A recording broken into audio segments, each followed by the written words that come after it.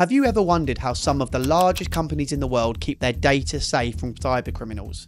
It's a constant game of cat and mouse. One side building walls, the other trying to knock them down. And in cybersecurity, this thrilling dynamic is played out by the blue team and the red team. Hi, I'm Luke, and today we're diving into the world of cybersecurity to unravel what these two teams do, how they operate, and why they're crucial to keeping us safe in the digital age. By the end of this video, you'll know exactly what it means to defend as part of the blue team or attack like the red team. Now stick around to the end so you know exactly both these teams do. And remember to subscribe to the channel and hit that bell icon so you never miss any new content. Let's get started. To understand blue teams and red teams, think of cybersecurity like a fortress. The blue team are the guardians of the castle, while the red team are the ones that are tasked with finding every possible way to break in it. So let's start today with the blue team. Now they are the defenders. Their mission is to proactively protect an organization's information systems and ensure that the network is resilient against attacks.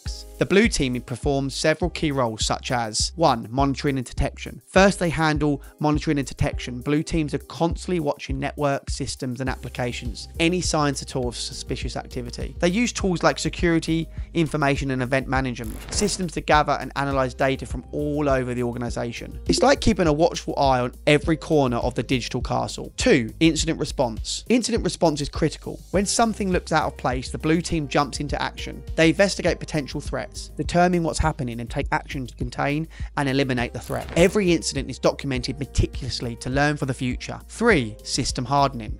This is another crucial aspect. The blue team constantly strengthens the organization's defenses, patching vulnerabilities, updating firewalls, and configuring network devices to minimize those risks. Their ultimate goal is to make the organization's systems as tough as possible to crack. 4. You have risk assessments and vulnerability management. The blue team is always looking for potential weaknesses before the bad guys do. They conduct vulnerability scans, they conduct penetration tests, and they prioritize steps to mitigate any risks they find. 5. Policy implementation and user training. It's often said that people are the weakest link in cybersecurity. The blue team works hard to ensure that every single employee understands best practices and how to recognize phishing attempts, what not to click on, and how to stay secure. They set security policies and run testing to reinforce these lessons. So, in short, the blue team does everything they can to keep the attackers out. They build the walls, they secure the doors, and they teach everyone inside how to stay safe. Okay, now let's switch sides and talk about the red team. Now, these folks are the offensive experts. They're the ones tasked with finding weaknesses before malicious attackers do. The red team focuses on offensive operations, simulating attacks to find the exploit vulnerabilities. Their work is creative, it's adaptive, and often aggressive. So, let's break down their main activities activities.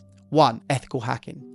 Ethical hacking is at the heart of what the red team does. They act like real attackers, using the same tools and tactics that malicious hackers might use. This includes phishing campaigns, social engineering to trick people into revealing sensitive information, and exploiting known system vulnerabilities to gain access. 2. Penetration testing. Now, this is the bread and butter of the red team. They attempt to breach the systems by any means possible. Unlike automated tools that might run vulnerability scans, red teamers use their creativity and deep technical knowledge to go through defensives that automated systems might overlook. Three, post exploitation analysis. So, after a successful breach, they conduct post exploitation analysis. So, this means evaluating the extent of the access they have achieved, what data they could have stolen, what systems they could have taken over, and ultimately, what kind of damage they could do if they were a real attacker. Four, adversary simulation. The red team often performs this, mimicking the tactics of real world adversaries, such as advanced persistent threats, APTs. These prolonged, sophisticated attacks are designed to see if they can get persistent access to a network without being detected, much like a skilled spy trying to go unnoticed.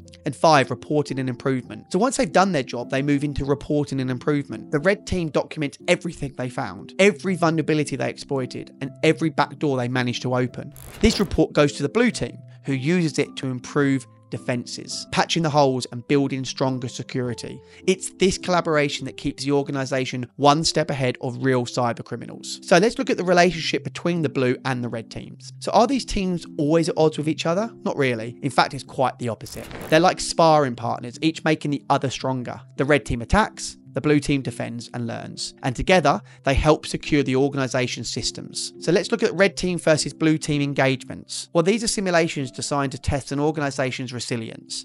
It's a never ending loop of testing, defending, learning, and improving. End result is a much more resilient system that can handle even sophisticated attacks. The red team writes a detailed report on how they broke in, and the blue team uses it to build a stronger defense. It's a partnership that ensures the organization is constantly improving. So let's now look at a day in the life of a blue team member.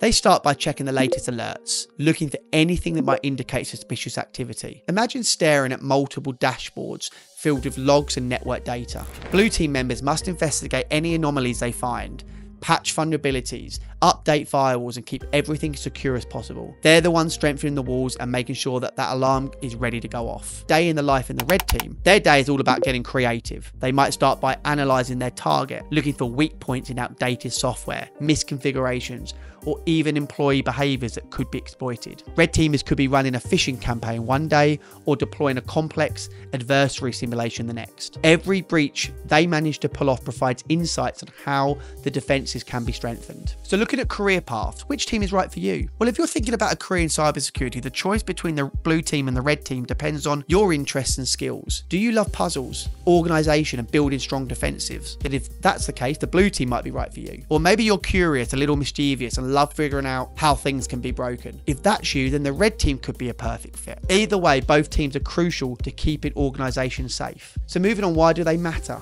You might be wondering why do we need both blue teams and red teams? Why not just focus on defending systems? Well, the truth is that cybersecurity threats are constantly evolving. Attackers are always developing new methods to get past defenses, and this will always be the case. To stay ahead, organizations need both sides. They need defenders who are constantly refining their strategies, and they need attackers who think like the adversary. The red team finds the weak spots and the blue team patches them, making the system stronger over time. It's a bit like martial arts training.